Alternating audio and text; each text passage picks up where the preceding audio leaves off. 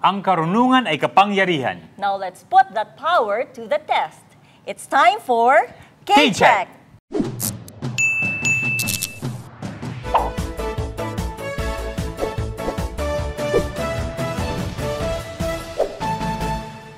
Hello everyone, I am Junel Labor. Ako po si Amy Sue Martinez and this is K-Check, the newest and smartest game show on Philippine television. We search all over the country for people na hindi nagsasawang dagdagan ang kanilang kaalaman. Titignan natin kung gaano katindi ang brain power nila.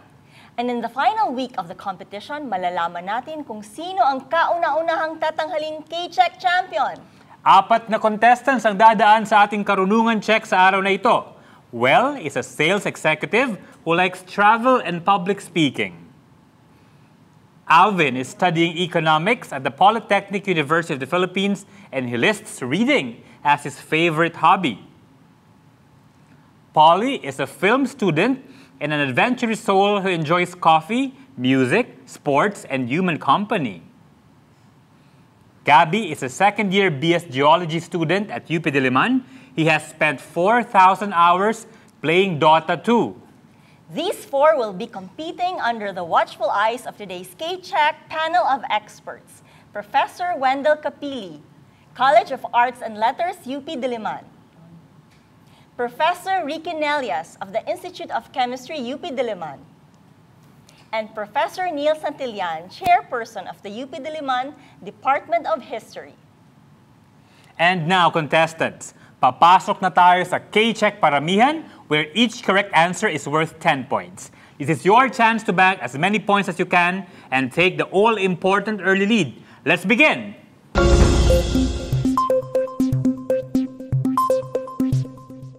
Let's begin. Well, alpha and beta are the first two letters in what language's alphabet? Phonetic. Mali. Greek. Alvin, what number is the sum of 28 and 11? 39. K-check. Polly, which DC superhero is the arch enemy of the Joker and Catwoman? Batman. K-check. Gabby, what hearing device invented by Rene Laennec is used by doctors to listen to chest sounds? Cardiogram. Mali. Stethoscope. Well, what number is 12 less than 24? Negative 12. Mali. Twe- uh, 12. Alvin, Voldemort is the main villain of which film franchise? Harry Potter. K-check. Polly, what botanical term can also describe a vehicle that runs on gasoline and electricity? Automobile. Mali. Hybrid. Gabby, what number is half of 62? 31. K-check. Well, the traitorous feline scar, that's S-C-A-R, and his hyenas are the bad guys in which Disney film? No, no idea. The Lion King. Alvin, what province is immediately to the east of Occidental Mindoro? Oriental Mindoro. K-check. Polly, what number is 8 more than 99? 107. K-check. Gabby, in what film franchise do villains Darth Vader and Kylo Ren appear? Star Wars. K-check. And that's it for round one for K-check.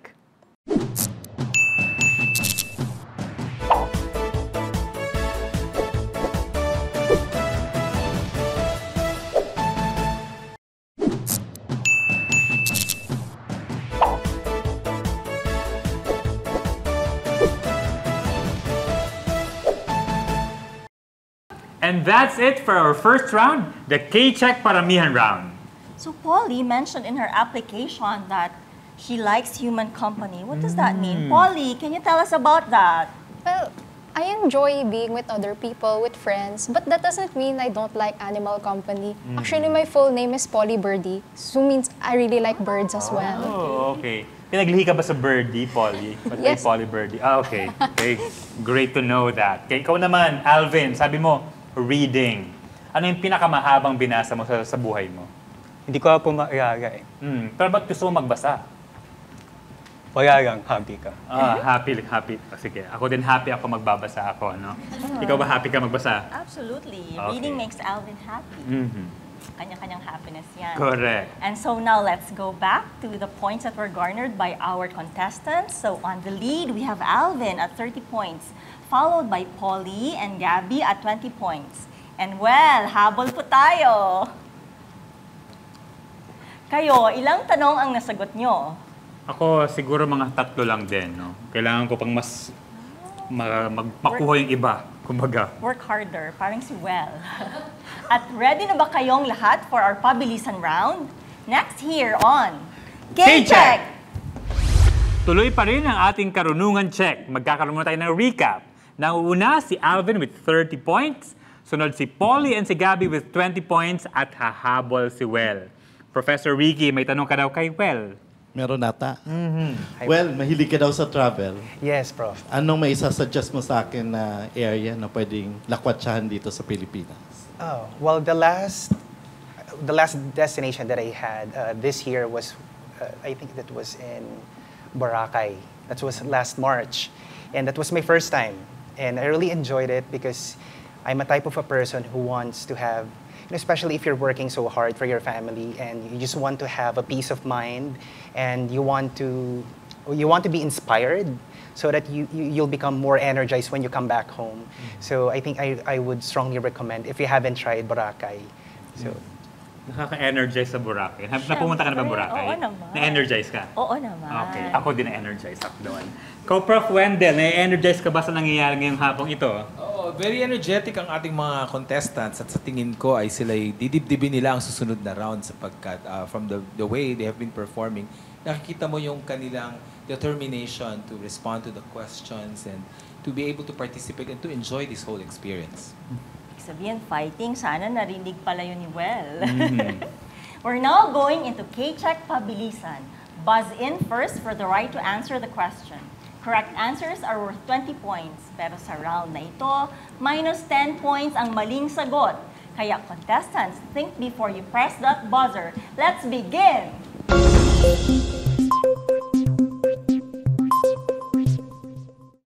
Let us now begin with the very first question for round two. Michael J. Fox stars as Marty, and Christopher Lloyd plays Doc Brown in what 1985 time travel movie? Gabby. into the future. Mali. Back Polly. to the future. Okay, check. Next question. What general term refers to the study of the Earth's physical structures, especially its crust and rocks? Well, Geography. mali.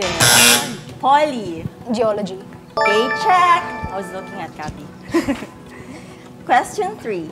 Standing about 6,000 meters tall, Kilimanjaro is the highest mountain in what continent? Gabby. Africa. Okay, check. Next question. In K-pop, debuting at one, number one on the Billboard Hot 100 chart, which 2020 BTS song became its first number one single in the United States? Polly. Butter. Mali.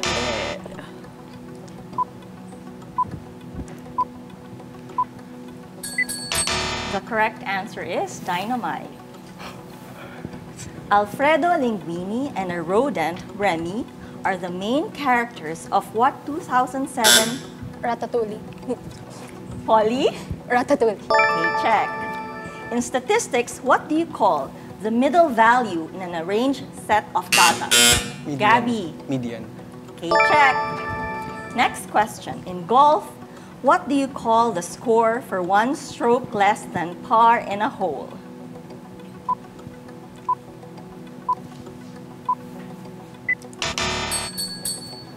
Correct answer is birdie, and I thought Polly will be able to answer this. Question 8. Which monster battled Kong in the 2021 blockbuster film that earned Godzilla. Yes, Gabby. K-check. Which city in Syria is known for being the world's oldest country capital? Polly. Damascus. K-check. Question 10. Which band's debut album included the hit singles Broken Sonnet and The Day You Said Goodnight? Yes, Gabby? Hail. Okay, check. Question 11. Last, uh, almost, the, next to the last question. Which Greek epic poem set during the Trojan War is attributed to Homer? Alvin. Iliad. Okay, check. And the last question. Measuring about 50 centimeters in adults, what is the longest bone in the human body? Gabby. Femur. Okay, check. And that's it for round two.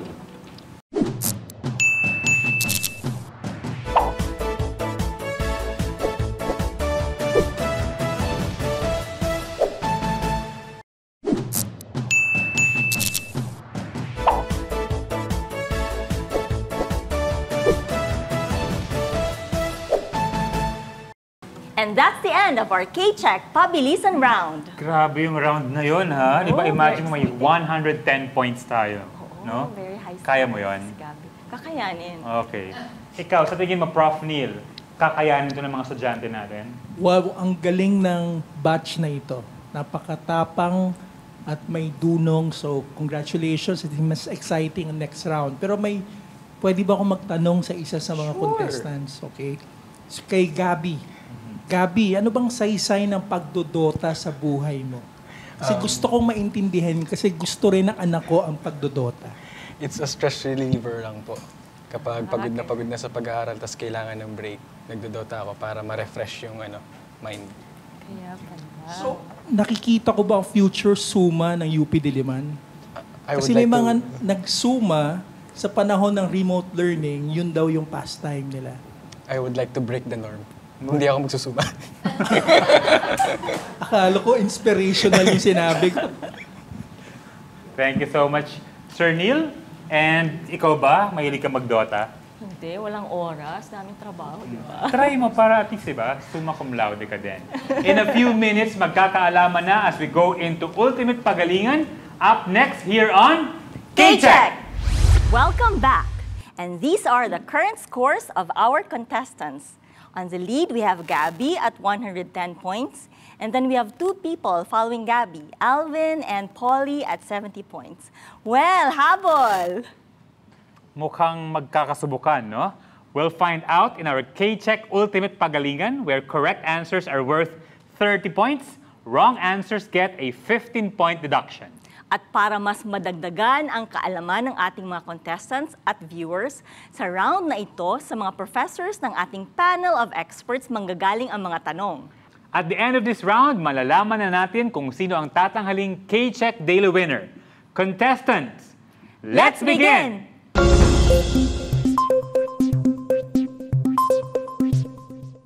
Let's begin.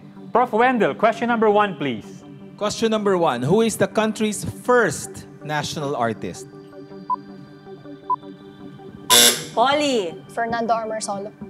K-check. At nais kong idagdag na siya ang lolo ni Yula Valdez, award-winning actress. Yula Amorsolo Valdez. So, yun lang. Thank Salamat. you. Prof. Ricky. Dinoflagellates are single-celled organisms with two dissimilar flagella. They are capable of producing bioluminescence, but in its excess can cause a natural phenomenon most commonly known as what? Alvin! Red tide. Okay, check. Prof. Neil.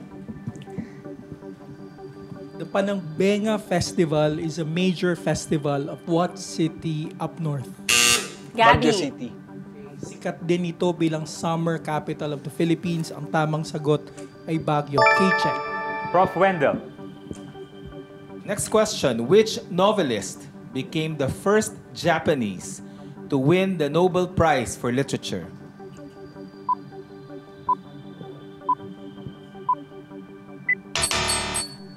Kaibigan to ni nasirang National Artist FC ni Jose Matalik na kaibigan, si Kawabata or Kawabata Yoshinari, who is also uh, the mentor of Yukio Mishima, another famous novelist. Thank you. Prof. Ricky. What is the most likely mechanism for the movement of tectonic plates?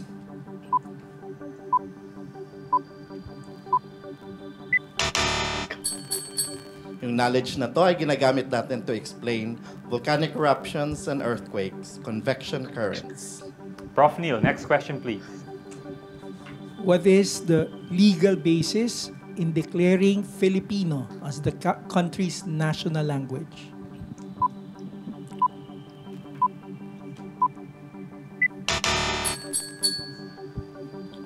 Nakasaad dito sa ating saligang batas. Ang tamang sagot ay 1987 Philippine Constitution.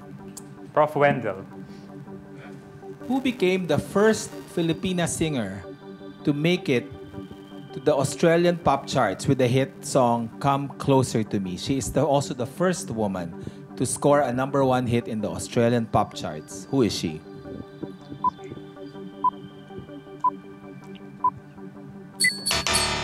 Ah, ang clue, ah, since wala naman nakasagot, sh- merong street named after her at ah, siya rin ang unang Pilipino na nanalo sa isang international song festival, sa Tokyo Music Festival. She's Pilita Corrales. May street sa Melbourne, sa, sa Australia, named after her. Ganun siya kasikat nung late 50s to early 60s. Thank you. Prof. Ricky. What is the enzyme responsible for DNA replication through synthesizing a new DNA strand from an original DNA strand?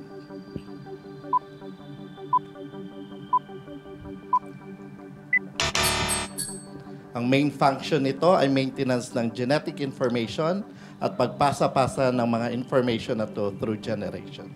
The correct answer is DNA polymerase. Prof. Neil. Who has the most wins of the FIFA World Cups by any player?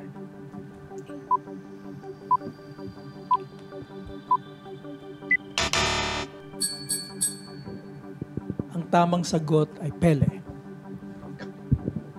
Prof. Wendell. What is considered the highest film honor in France? The French equivalent to the Oscars. Kung ang Britain may BAFTA, ano naman meron sa France? Alvin. Kan. Mali.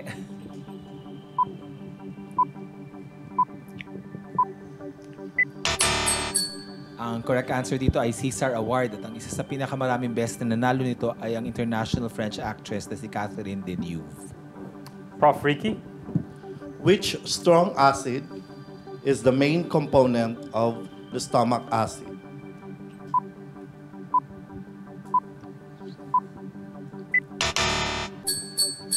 This acid is important for food digestion, hydrochloric acid. Prof. Neil. Guru Nanak founded which religion in the late 15th century?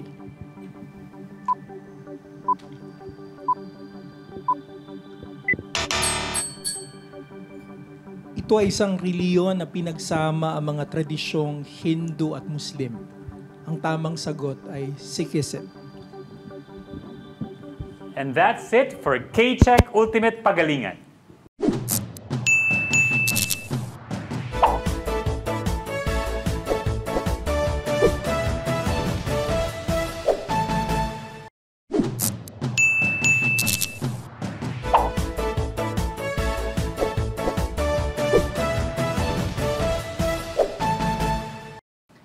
And that's it for K-Check Ultimate Pagalingan. Congratulations to Gabby, our K-Check Daily winner, with a final score of 140 points. We'll see Gabby again on Friday when he competes with our other daily winners for a spot in our semifinals. Thanks to Well, Alvin, and Polly for joining, and to the members of our panel of experts, Professor Wendell, Professor Ricky, and Professor Neil. This is Amy Sue Martinez. And I am Janelle Labor. Join us again tomorrow for another K-Check!